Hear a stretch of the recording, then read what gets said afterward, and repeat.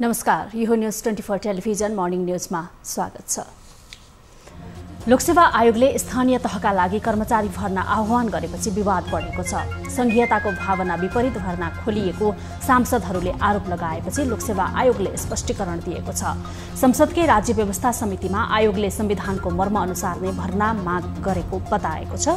संविधानले प्रादेशिक लोकसेवा गठन नभएसम्मका लागि संघीय लोकसेवाले नै भर्ना खोल्ने प्रावधानलाई देखाएको छ।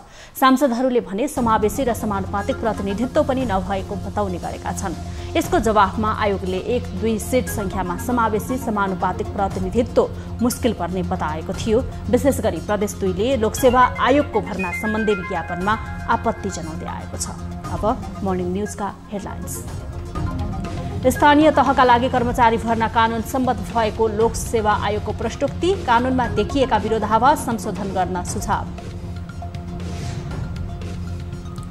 नेकपाको सचिवालय बैठक आज बस्दै अध्यक्ष द्वय ओली र दाहाल आन्तरिक गृह कार्यमा कार्यविभाजनमा विवाद।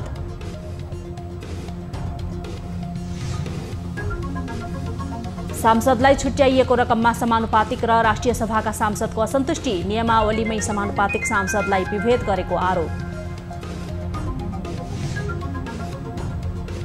आर्थिक वर्षको अन्तिममा विकास खर्च बढाइँदै पछिल्लो चार दिनमा बाह्र अर्बभन्दा बढी रकम खर्च गरियो। आर्थिक कार्य अवधि नियमावली विपरीत नजान सांसदको माग।